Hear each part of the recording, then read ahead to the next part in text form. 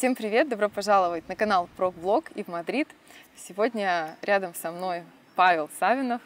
Он живет в Мадриде, жил в Чили и расскажет, как обстоят дела в этих городах с IT-индустрией и, собственно, вообще с жизнью. Каково здесь жить?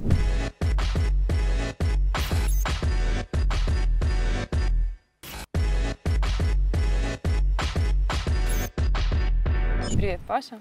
Привет, Вика. Привет, Викины зрители с канала ProBlog TV. Возможно, среди них есть и твои зрители, потому что у тебя тоже есть YouTube-канал. Вполне возможно, да. Мы с тобой делали коллаборацию, и многие люди, я смотрел, переходили. Это видео, в принципе, одно из самых популярных на моем канале вообще. Получается, что вообще э, таких самые большие IT-хабы, это, наверное, сейчас, конечно же, Кремниевая долина в США и Берлин, э, Германия. Но есть еще множество других стран, где тоже приятно, хорошо жить, э, и в том числе Испания. А расскажи вообще о том, как ты сюда попал, вот какую-то предысторию. Ну, тебя интересует именно, как я переехал в Мадрид или ну, вообще давай Испания начнем с самого Мадрида? начала. Вообще, как ты попал в IT-индустрию и как ты оказался в Испании в первый раз? Ну, с IT у меня, в принципе, достаточно долгая история. У меня с детства компьютеры, как-то интересно было и программирование, и вообще вот все, что с этим связано. Поэтому, когда я выпустился, вопросов, куда идти работать, особо не стояло. Пошел работать э, в компанию Diasoft, это такой московский вендор банковского ПО, достаточно известный. Там проработал три года, и там была перспектива поехать э, за границу работать. Но так получилось, что сказали, что всех, кто будет работать в иностранных филиалах, будут нанимать уже на месте. А я уже этой идеей загорелся и решил, что, ну, может, попробовать переехать. Так получилось, что я учил еще испанский язык, подумал, ну, значит, надо Испанию, как бы искать работу в Испании.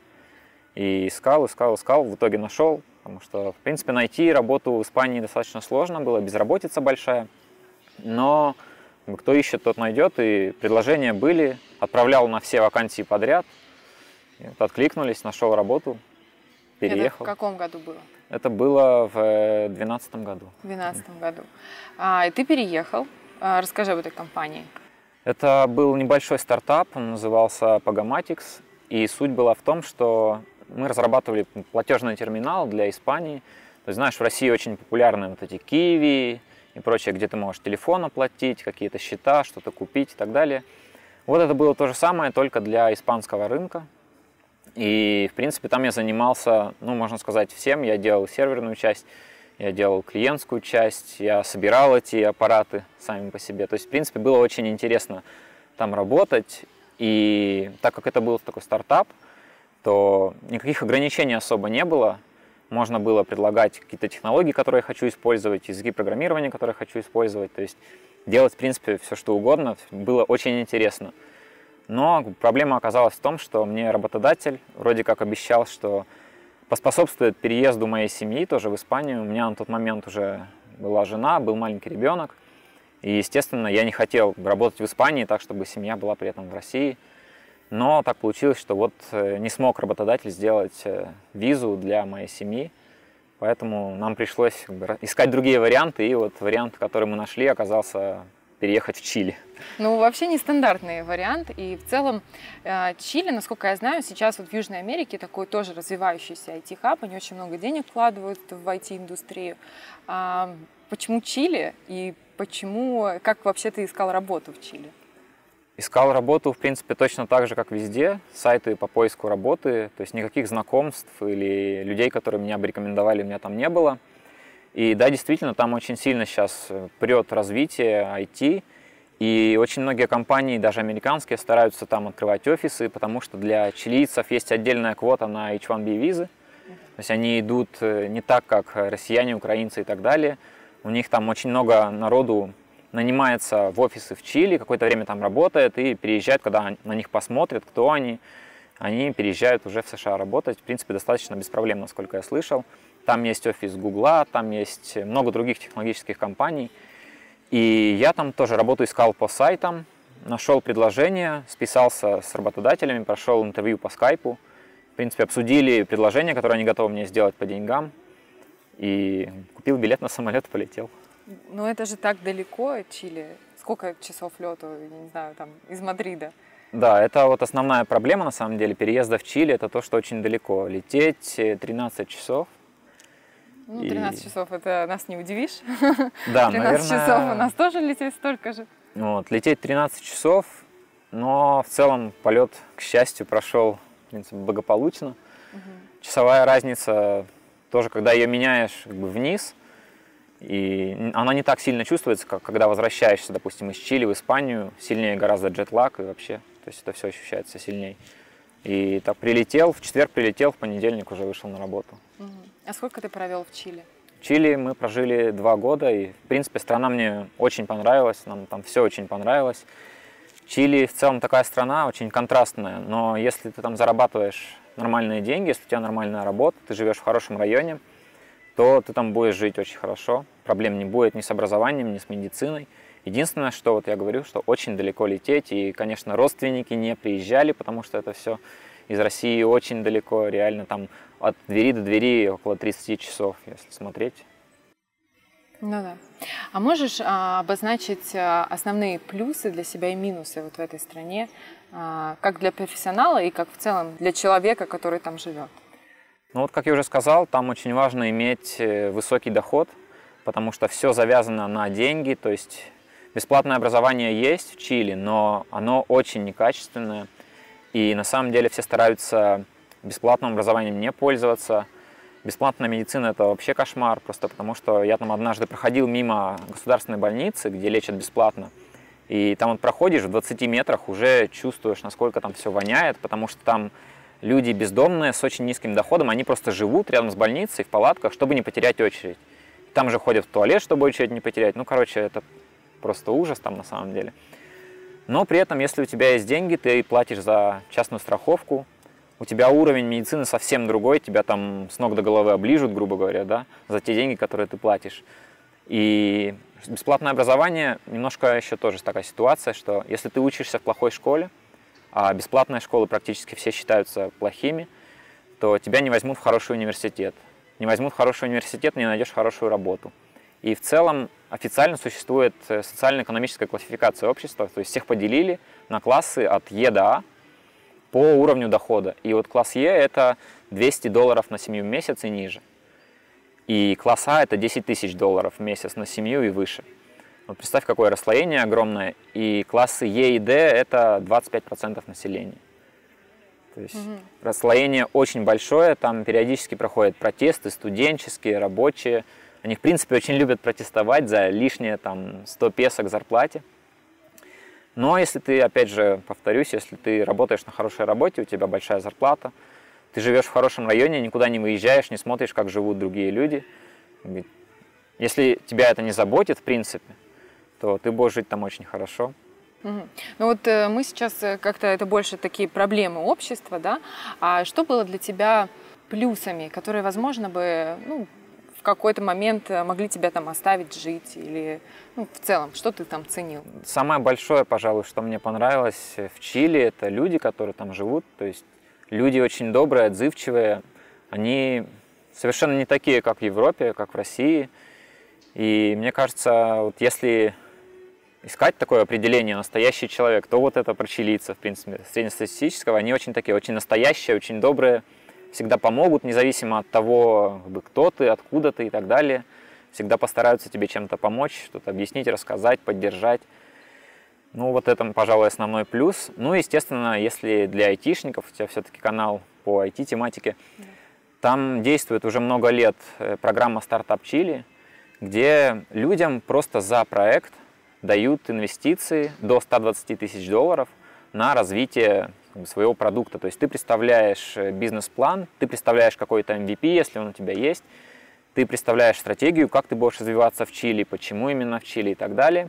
Тебя оценивают, заявка достаточно простая, форма заявки простая. И тебе говорят, окей, мы тебе даем 90 тысяч невозвратных инвестиций на твой проект, пожалуйста, приезжай, делай. И из этих 90 тысяч ты можешь оплатить билеты на самолет всем членам твоей команды, можешь оплатить жилье, можешь покупать какие-то расходные материалы и так далее. И многие ребята, я даже знаю несколько ребят из России, из Украины, кто сделал там проекты. Выживаемость такого стартапа, в принципе, не очень высокая, то есть выживаемость на проекте там порядка 20%. То есть вот э, в основном люди, 80% компаний, которые так основываются, они тратят все деньги, ну и дальше либо продолжают жить в Чили, но заниматься чем-то другим, работать по найму и так далее, либо уезжают. Но есть и проекты, которые достаточно успешно там живут. Угу. Но ты все-таки работал по найму, правильно? Да, я работал там по найму, и это тоже был стартап, кстати говоря, который вырос как раз вот из этой программы «Стартап Чили», откуда я про нее узнал. И когда я устроился в компанию, это было, я был пятым сотрудником, и из пятерых человек там двое были братья-основатели компании и три сотрудника по найму. А сейчас, насколько я знаю, у них больше 30 человек работает, они на 5 стран расширились. То есть, в принципе, дела идут очень неплохо. И это компания Autofact, что-то типа Carfax в Америке. То есть принцип тот же самый, ты можешь узнать по номерному знаку автомобиля, можешь узнать всю его историю, кто им владел, был ли он в такси, какие на нем штрафы и так далее, были ли аварии и так далее и тому подобное. В общем, чилийский аналог Карфакса. Угу. А как для профессионала, для человека, который работал в найме? Там IT-индустрия, какие у тебя плюсы и минусы? Вот, не знаю, начиная от общения с коллегами и заканчивая каким-то ростом, профессиональным развитием? В этом плане тоже очень много возможностей. И, насколько я знаю, много наших ребят туда едет именно с прицелом на то, что через пять лет там можно получить чилийский паспорт. Соответственно, это тебе открывает определенные пути в Америку, и многие так думают, что, ну, в принципе, 5 лет не так и много. Вот я поработаю в Чили 5 лет, поживу, получу без проблем чилийский паспорт и потом поеду работать в Соединенные Штаты. И в целом, как я уже сказал, опять же, IT очень развито, много крупных компаний. И из такого вот из явного, если брать положительные моменты, очень хорошо платят в IT в Чили. То есть э, программисты на уровне с адвокатами, на уровне с инженерами-горняками в Чили находятся. Очень хорошие зарплаты, которые позволяют ну, вполне комфортно жить, даже если у тебя есть дети, тебе нужна страховка, образование и так далее. Ну, можешь озвучить какую-то вилку? Понятно, что ты уже достаточно давно живешь в Испании, но просто вот как ориентировочно, сколько это были, какие зарплаты? Там все цифры в песо, если кому интересно, можете погуглить, перевести, но вот нормальный программист с уровнем там, от 5 лет, да, middle уровня, будет получать порядка 2 миллионов песо в месяц на руки. То есть это достаточно приличная сумма. Вот IT-комьюнити, ну, понятно, что оно там большое, но вот взаимодействие между коллегами, насколько близкое, насколько а, хорошо воспринимают э, экспатов там? Если конкретно мы IT-индустрию берем, то там очень много экспатов из самых разных стран, потому что люди едут, как в основном IT-проекты, это вот этот вот стартап Чили, их там просто очень-очень много, они, стартап Чили, программа действует с 2011 года, то есть уже 8 поколений, и каждое поколение это в основном иностранцы. То есть чилийцы тоже подают в эту программу, но в основном все-таки иностранцы. Очень много американцев, очень много испанцев туда приезжают делать свои проекты. И они как бы не замкнуты на местный рынок труда, они нанимают очень много иностранцев в том числе. И сделать рабочую визу в Чили, по крайней мере для граждан России, Украины, Белоруссии очень-очень просто. Это делается смена статуса просто, не выезжая из страны. То есть ты приезжаешь как турист – тебе дают контракт, ты его отправляешь по почте в миграционную службу, через две недели у тебя есть разрешение на работу на руках, через месяц у тебя есть карта резидента, у тебя есть рабочая виза, и все. Вообще проблем, препятствий никаких с точки зрения властей нет. А сколько у тебя занял а, вот от поиска работы до переезда времени?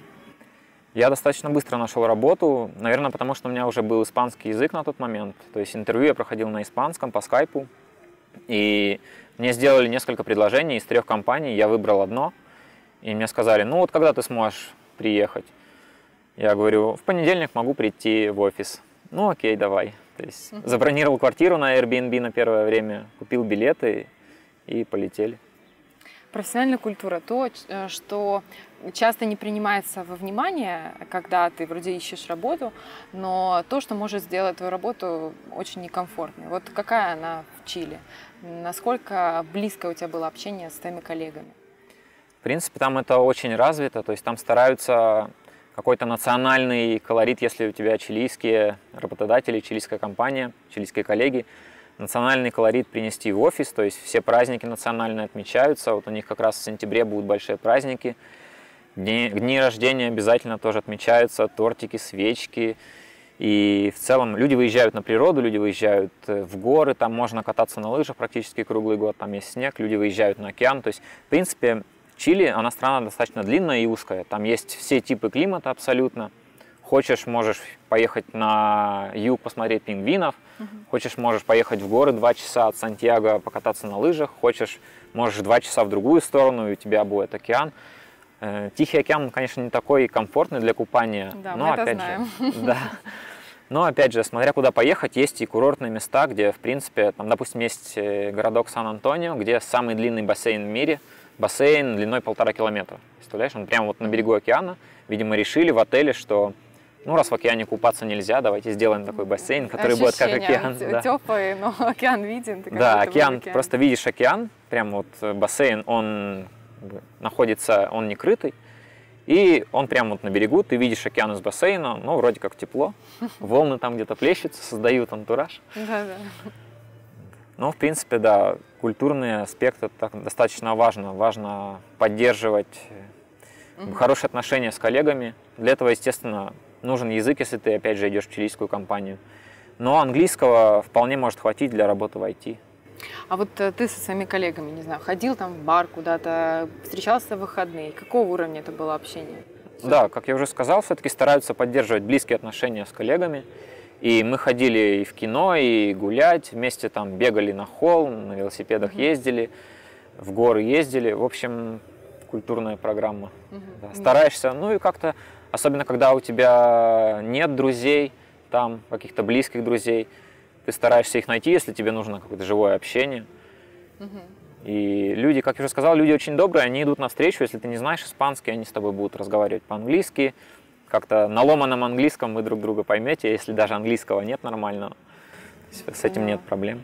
Как бы дружба, дружба, все хорошо, но когда ты вроде бы как профессионал, тебе хочется развиваться как профессионал. Вот э, об этой стороне э, расскажи немного. Да, Чили, они в принципе после Пиночета очень сильно ориентированы на США и стараются по максимуму копировать и американскую рабочую атмосферу, и вот этот настрой на то, что вот на работе мы работаем, а на отдыхе мы отдыхаем. И да, в принципе, они стараются нанимать профессионалов.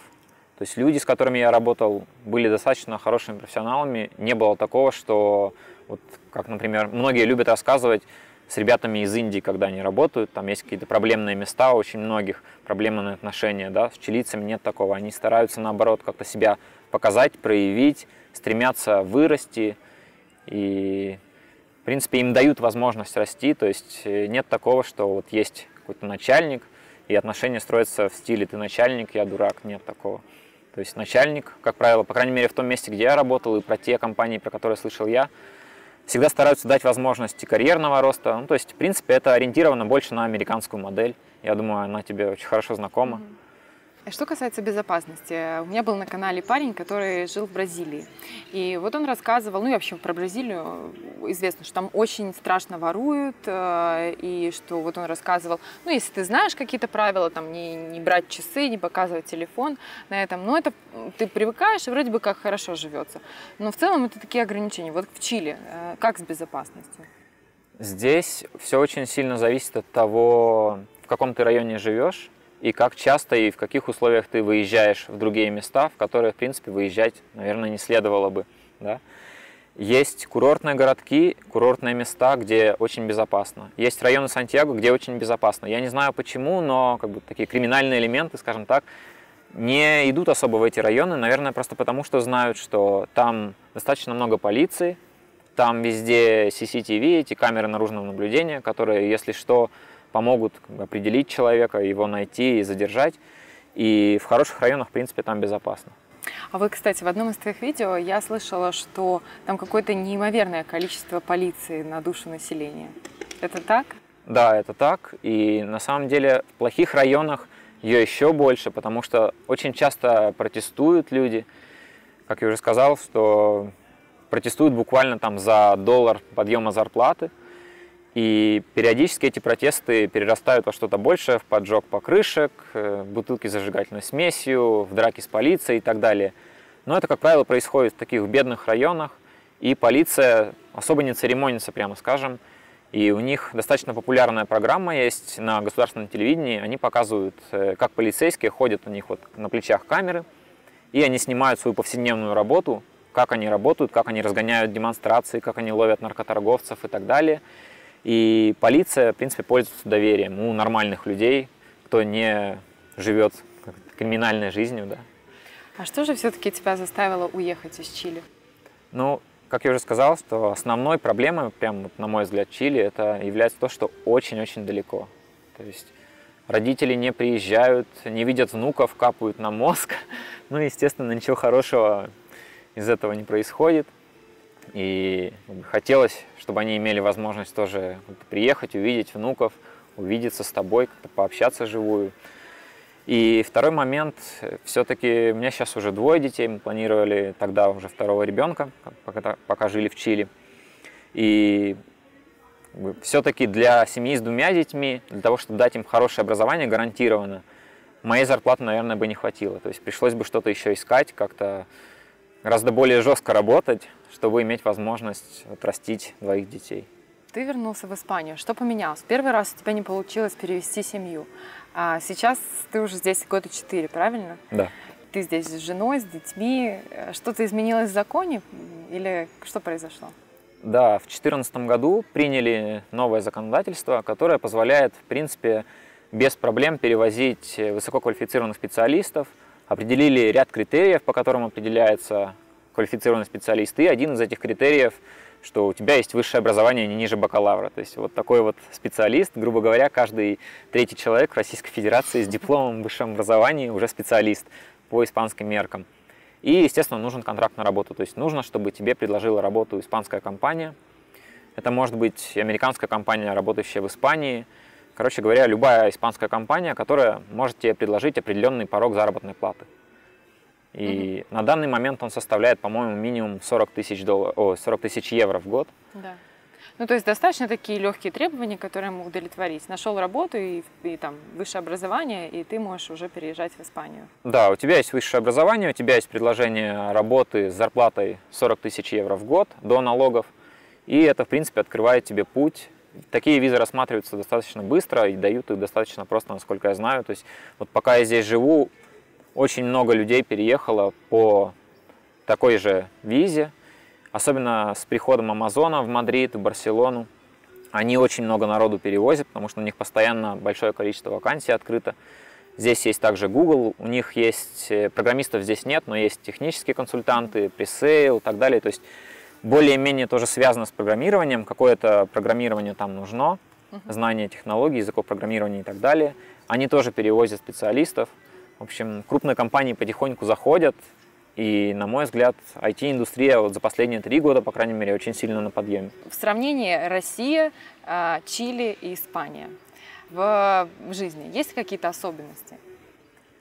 Ну, я думаю, что основной особенностью является то, что все неоднократно слышали про Испанию, что они такие очень неспешные, и тебе говорят завтра, означает, что вполне возможно никогда грубо говоря, и все нужно ждать. То есть ты сдаешь машину в ремонт, закрасить царапину, ты ее будешь ждать 10 дней.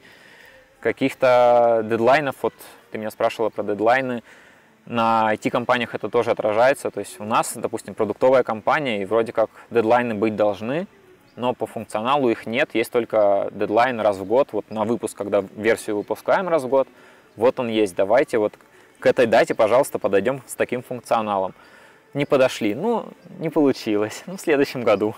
То есть все достаточно спокойно. И кого-то это раздражает, особенно кто приезжает из Москвы, например, кто привык очень быстро жить. Здесь этого нет, здесь все живут так потихоньку.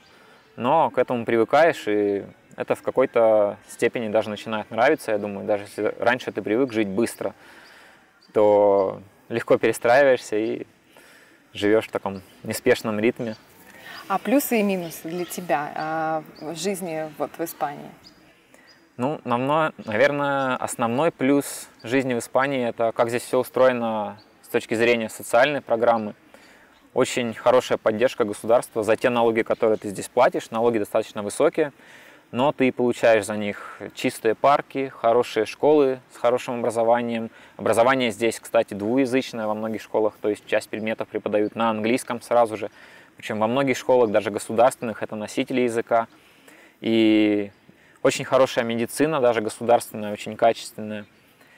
в тот же момент у тебя есть возможность иметь дополнительную медицинскую страховку. Ты хочешь, идешь в частную клинику, хочешь, идешь в государственную клинику. Никогда нет никаких очередей, соответственно. Ты сам решаешь, что выбрать. И в целом, вот да, социальная программа – это то, чем очень сильно привлекает Испания. По крайней мере, за те налоги, которые здесь приходится платить. Что касается минусов, наверное, сюда не очень легко попасть в том плане, что казалось бы, такие требования высшее образование и 40 тысяч евро в год, но вот эту цифру 40 тысяч евро в год предлагают далеко не все.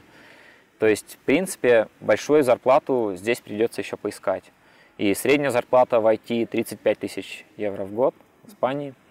И в регионах она гораздо ниже, то есть в регионах можно получать и 20 тысяч, 25 тысяч. Вот я недавно слышал историю парня, который сюда переехал на 25 тысяч евро в год. Но серьезно, вот если у тебя семья, особенно если у тебя есть дети, 25 тысяч евро в год это очень-очень мало. Придется жить ну, от зарплаты до зарплаты, в чем-то себе отказывать. Все-таки можешь по каким-то более подробными цифрами поделиться, сколько нужно денег для того, чтобы комфортно жить в Мадриде? Ну, опять же, зависит от того, какой у вас состав семьи, да. Угу. Но на троих, если у вас мама, папа и маленький ребенок, но не настолько маленький, чтобы ходить в садик, то есть ему больше трех лет, он уже ходит в бесплатную школу. За школу платить не обязательно. Школа. Да, с трех лет это уже начинается школа. Она еще не обязательна с трех до шести лет, но очень желательно, и многие, естественно, отдают для того, чтобы иметь возможность работать. И, наверное, для того, чтобы комфортно жить в таком составе семьи, достаточно будет 45 тысяч в год. Вот это такая минимальная цифра, чтобы иметь возможность как-то платить за транспорт, кушать ни в чем себе не отказывая, покупать одежду, иметь возможность снимать неплохое жилье в нормальном районе. Это, кстати, очень больная тема для Мадрида, то есть именно жилье. И по последним статистическим данным, здесь соотношение доходов и стоимости жилья, оно выше, чем в Нью-Йорке. То есть, да, представляешь? А поделись цифрами, сколько, например, стоит снять э, квартиру ну, там, вот для троих человек? Здесь, в принципе, по закону у вас должно быть 12 квадратных метров на человека. То есть на троих не такая большая квартира требуется, и обычно кто с одним ребенком снимают либо на одну спальню квартиру, либо на две спальни. И квартира 65 метров в приличном районе на две спальни достаточно небольшие, обойдется около 1300 евро в месяц снимать. Обычно просят месяц вперед, два месяца депозита и какие-то гарантии, то есть требуют контракт на работу, если у тебя его нет, то снять будет проблематично. А вот ты э, про налоги сказал, что ну, хороший социальный пакет. А налоги какие? Прогрессивные? Понятное дело, что да. почти везде в Европе. Ну, можешь какой-то вот диапазон э, налоговый? Прогрессивная шкала. И вот если мы берем вот этот минимум для специалистов 40 тысяч в год, то такой специалист будет платить порядка 29% налогов. Ну, в принципе, это да, но это на самом деле еще накладывает определенный отпечаток на работодателя, потому что работодатель за тебя платит еще социальные платежи не из твоей зарплаты вычитая. То есть ты платишь социалку, ты платишь налоги, ты платишь еще какие-то свои страховки, если они у тебя есть, не обязательные. Плюс работодатель за тебя платит 29% твоей зарплаты социальных платежей на случай, если ты потерял трудоспособность, если ты ушел в декрет. Здесь есть декрет для мужчин в том числе, кстати. Угу. И все вот эти вот выплаты, они ложатся на работодателя, грубо говоря. Поэтому еще проблема, что работодатели не стремятся предложить много денег, потому что если ты предлагаешь 100 тысяч, то тебе работник обходится в 130, а на руки он получит примерно 55. То есть так налоги, собственно, делятся, да? С одной стороны ты платишь, с другой стороны работодатель еще какие-то... Да, ты платишь налог на доходы, ты платишь свою социалку, то есть за медицину, например, государственную угу. платишь ты а дополнительное покрытие платит за тебя еще работодатель. И это покрытие, оно, в принципе, достаточно серьезно бьет по карману работодателя. Предлагаю вернуться все-таки еще к Чили, потому что я забыла аналогичный вопрос задать. Можешь вот тоже сравнить а, какие-то, ну это будет в песо, да, а, стоимость там жилья и так далее? Да, как я уже сказал, вот если у тебя есть зарплата 2 миллиона песо в месяц, на руки это хорошая зарплата. И действительно, имея 2 миллиона песо в месяц, хорошее жилье в очень хорошем районе будет тебе стоить порядка 500 тысяч песо. И на все остальное у тебя будет уходить еще, ну, наверное, миллион. При этом ты сможешь себе позволить машину, ты сможешь себе позволить качественные продукты, одежду, путешествия, отдых и так далее, и у тебя будет еще порядка 300, 400, может быть 500 тысяч песо оставаться, что в принципе неплохо. И насколько я знаю, сейчас курс песо, 500 тысяч песо это около 1000 долларов. Mm, ну да, неплохо. Поняла. Хорошо, возвращаемся тогда снова в Испанию. Расскажи о том, а, насколько вот у тебя получается интегрироваться в общество, потому что иммиграция такое дело, что либо это может быть как а изгнание, когда ты будешь жить где-то среди своих, да, и тебя а, окружающее общество, вот местное, оно тебя не пускает, либо наоборот, ты можешь э, интегрироваться. Вот как у тебя в Испании? Кто твои друзья? Они русскоязычные или испаноязычные? Да, здесь, в принципе, на мой взгляд, очень сильно зависит от того, что ищет человек. Здесь есть, как и везде, я думаю, районы, где компактно проживают русскоговорящие люди с Украины, с России, с Белоруссии. И очень многие, особенно кто языка не знает, на первое время стараются в этих районах поселиться. Ну, понятно, чтобы порешать какие-то свои бытовые проблемы, проблемы с документами. Опять же, найти работу. Многие ведь приезжают, не имея работы, надежды на то, что они здесь хоть какую-то работу найдут как и в любой другой стране, в принципе.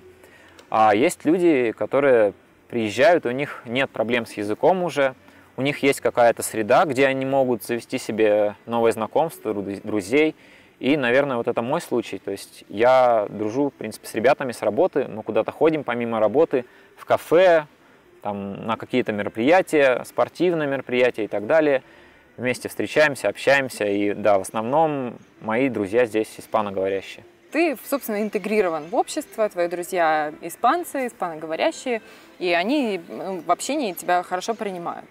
Вот ты, кстати, рассказал в общении за камерой, а, вне камеры, о том, а, как, э, как вы общаетесь на работе на обеде. Вот когда у вас есть испанцы, есть там не говорящие по-испански. А, что испанцы говорят на испанском языке, им, в принципе, все равно, знаешь ты или не знаешь испанский, да? Да, это, к сожалению, наверное, так. И, к моему счастью, я испанский знаю достаточно хорошо, но в большинстве своем это так происходит. То есть, если есть человек, который по-испански не говорит, и несколько испанцев, они будут о своем разговаривать по-испански, им абсолютно все равно, знаешь ты, не знаешь, понимаешь, не понимаешь. И я думаю, что многие люди чувствуют себя некомфортно, это видно порой по выражению их лиц. Это тоже такой вот момент профессиональной культуры, если хочешь. Ну да. А, еще а, расскажи какие-то вот а, моменты, связанные с работой. А, я знаю, что, опять же, что вы здесь как-то летом очень мало работаете. Это правда? Вот расскажи об этом. Да, очень многие испанские компании, они летом делают так называемое интенсивное расписание. Я не знаю, почему они его называют интенсивным, но суть обычно в том, что все работают э, без обеда, но с 9 до 3. То есть ты приходишь на работу в 9 часов, до 3 часов ты работаешь, и потом тебе дают время для того, чтобы насладиться погодой, побыть с семьей, поехать куда-то в бассейн, в аквапарк и так далее. В общем, отдохнуть. Ну, и... это интенсивно, это что значит? Что человек приходит и э, очень настроен на работу, работает, работает, работает и ушел. Подразумевается, что это происходит именно так. На деле, естественно, с испанским спокойствием, неторопливостью так не происходит. И вот из этих там 6 часов работы, когда человек должен интенсивно работать, ну, я думаю, что часа два уходит на то, чтобы попить кофе, сходить в туалет, у нас там настольные игры поиграть, приставку поиграть, что-то обсудить с коллегами и так далее и тому подобное. Да. В общем, по факту выходит часа 4 рабочего времени. Я поняла. Ну, в общем, э, Испания страна гедонистов, да? Можно и так сказать, да. Давай тогда больше о твоей компании. Ты сейчас сказал, что ты работаешь в продуктовой компании. Чем вы занимаетесь? Это компания LifeRay, она, в принципе, американская. У них головной офис в Лос-Анджелесе, и мы делаем портальное решение. То есть по аналогии с э, IBM WebSphere портал, например. То есть, э, и сейчас мы также развиваем решения для электронной коммерции – для электронного маркетинга, то есть пытаемся как-то конкурировать э, с Adobe Experience Cloud и прочими подобными продуктами. Угу. В принципе, получается успешно, если верить э, различным агентствам типа Gartner, Forrester и так далее. Угу. А, мои подписчики в последнее время мне вменяют в вину, что я достаточно мало разговариваю о рабочих процессах. Расскажи, как устроены рабочие процессы вот в вашей компании – и типичны ли они в целом для испанского рынка, поскольку компания это американская? Я думаю, что технологические процессы в IT-компаниях, тем более в IT-компаниях американских, они более-менее одинаковые. То есть все стараются использовать какую-то agile-методологию, да, работать быстро, спринтами по неделе, по две, mm-hmm. как-то планировать все заранее, иметь э, мультифункциональные команды с разделением ролей. Есть там product manager есть UX, есть front-end разработчики, есть back-end разработчики, есть DevOps отдельно у кого-то, у кого-то нет. В общем, стараются как-то так э, поделить. И да, как я уже сказал, работаем точно так же, как работают в США, с принтами по две недели, планируя заранее все в жире. Расскажи о типичном процессе собеседований, который проходит э, человек, который ищет здесь работу в IT. Я думаю, что, опять же, ничем не отличается. сейчас большинство IT-компаний, особенно американских, стараются копировать э, грандов, Google, Amazon, Facebook и так далее. То есть сначала делают какой-то такой фон-скрин, да, где пытаются понять, насколько ты вообще адекватен, насколько ты можешь соответствовать вакансии, насколько ты говоришь по-английски. Это очень важно, как сейчас везде в IT. И если ты этот фон-скрин проходишь, тебя приглашают на он-сайт интервью, где у тебя там от 3 до 5 интервью с различными задачами на код, на дизайн, на распределенные системы и так далее и тому подобное. Ну, в общем, процесс, он примерно одинаков сейчас везде. Все стараются скопировать Google, так скажем, mm-hmm. да, они первые вроде как начали такую систему применять. Что касается визы, ну, вроде бы, как ты сказал, что ее не так, чтобы очень сложно получить, но вот есть э, Евросоюз, да? Могу ли я, при том, что я получила вот, э, вот эту э, в Испании разрешение на работу, поехать с ним же работать, например, в Германию? К сожалению, нет. И здесь это достаточно больная тема. То есть, когда в Евросоюзе, по-моему, в 2004 году ввели вот эту систему голубых карт для профессионалов, Испания это поддержала, но немножко на своей волне, потому что европейское законодательство четко не обозначило вот эти критерии для профессионалов, и оно это отдало на откуп национальным правительствам. И испанцы сказали, окей, у нас будет тоже Card, потому что вот Евросоюз требует ввести Card, у нас будет Card. Но требованием для Card мы поставим такой пункт, что необходимо доказать отсутствие на испанском рынке специалиста, который может такую вакансию заполнить. А с безработицей, которая на тот момент была там по 30%, это было практически нереально сделать. Всегда обязательно на бирже труда найдется человек, либо его обучат за три месяца, и обязательно его предложат на эту должность. И вот до 2014 года, по сути, не было закона, который позволял бы реально привести специалиста. Я слышал, что за все время было 160, по-моему, случаев, когда реально оформили Blue Card в Испании, но это, очевидно, были такие случаи, когда компания ну, очень хотела привести конкретного специалиста, а специалист очень хотел в Испанию. Скорее всего, это были случаи, когда испанцы, там люди, может быть, испаноговорящие, не испанцы, но испаноговорящие, хотели переехать жить в Испанию, скажем, в Латинской Америке, и попросили свою компанию, слушайте, вот давайте меня отправим в Испанию. И адвокаты там искали, искали способ, нашли, как-то обходили вот все эти государственные препоны, и перевезли человека, потому что ну, 160 случаев за все время это очень-очень мало. Есть еще э, такой IT-хаб в Испании, Барселона. Почему ты не выбрал его, например? Ну, на самом деле, почему не Барселона, это уже мое личное предпочтение, mm-hmm. потому что я, в отличие от многих людей, кто приезжает в Испанию, не люблю море и очень сильно не люблю влажность. То есть вот когда влажно, это прям не мое совершенно. Здесь, в Мадриде, влажность на уровне там 20-30%, и даже зимой влажность невысокая, и это очень комфортно. Я жил первый год, когда я приехал в Испанию в 2012 году, я жил на море, на побережье, и это было очень некомфортно, на мой взгляд. Но в целом, если Барселону смотреть, то по зарплате, по количеству вакансий, мне кажется, она даже превосходит Мадрид, если именно IT брать. Там очень-очень много стартапов, и многие крупные технологические компании также туда переезжают – Помимо Барселоны и Мадрида есть еще Бильбао на севере. Угу. Там тоже очень много технологических компаний сейчас и очень неплохие зарплаты. И есть еще мало, где сейчас открывается много аутсорс-компаний типа ИПАМа, типа Циклума и так далее. И они активно перевозят людей из э, стран СНГ. Как тебе кажется, вот э, в принципе средний уровень IT-специалистов а, здесь э, на каком уровне? К сожалению, мне кажется, это не только испанская сейчас проблема, но проблема общемировая, что уровень специалистов в IT, он падает, к сожалению. И лично вот, на мой взгляд, причина этому в том, что очень много компаний появилось таких буткемпов, да, которые воспитали за последние годы просто огромное количество специалистов по поиску работы. То есть человек заточен на то, чтобы найти работу в IT. Он знает, как проходить собеседование, знает все типовые задачи, знает, как что решать. Но при этом, попав на реальную работу, он немножко теряется и не понимает, что делать. Это, конечно, не ко всем относится, но, к сожалению, опять же, как я уже сказал, уровень сильно упал за последние годы. И то, что я видел, например, в Чили, мне нравилось больше по уровню специалистов, чем то, что я вижу здесь. Но, опять же, это вот вина таких компаний и популяризации профессии во многом. То есть все крупные компании способствуют сейчас популяризации профессии программиста, тестера, DevOps, специалистов и так далее. Ну и, соответственно, когда есть такой спрос, есть и предложение, приходите, мы вас научим за три месяца, как стать программистом и зарабатывать там 50 тысяч евро в год. Но, к сожалению, так не происходит. Ну, либо происходит, но в очень маленьком проценте случаев. Поэтому, какие, да, уровень упал.